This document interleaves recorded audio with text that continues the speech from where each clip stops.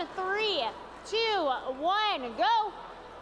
Welcome to match 54 here on the Johnson Division. This autonomous period a little bit more energized than some of the other ones. This one 26 points and counting, 31 for blue. Let's see if Paly Robotics has another note in store for us.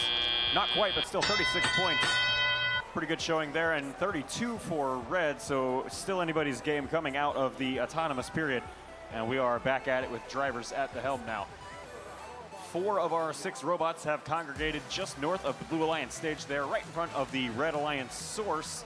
They split up for a brief moment, chase each other around the field, and specifically chase around the notes. Paly Robotics back to the Blue Alliance source. One note waiting for them on the floor, right in the corner. They'll pass it forward, aiming in theory for the Alliance wall for their Alliance partners to pick it up. And instead it lands all the way outside the field of play, and our volunteers will return that momentarily. Blue Alliance speaker is amplified and no robots anywhere nearby. At the current moment, Paly Robotics looks to change that. Long distance shot, it lands. Five points of Alliance score. And now a little while later, there's a two-pointer coming at you from the Alliance partner, Spark.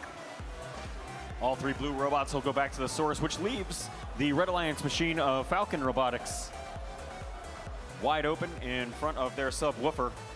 They're looking to catch up from what is currently looking like a 30, almost 40 point deficit with a minute left to play. Still plenty of time to change that. Nice long pass coming in now as the, looks like rookie team, Caracal Robotics, gets into the fray here. Regardless, note goes flying, lands right in front of the Red Alliance machines, and now with the amplified speaker, they're gonna look to take advantage of that. Here's Falcon Robotics, that 589 machine, getting out of the way of their Alliance partners, Texas Torque. Torque able to pick up a five-pointer there during the amplified speaker.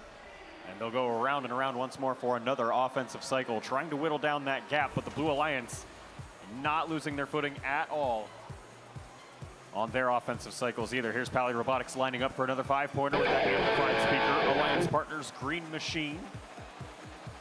One of our Hall of Fame teams, 2019, Detroit, won what was then known as the Chairman's Award there.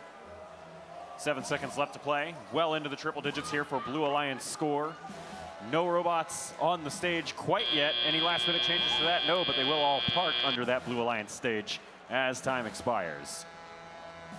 And the Blue Alliance will take that one home decisively, 135 to 62, and they will sweep all four of those available ranking points.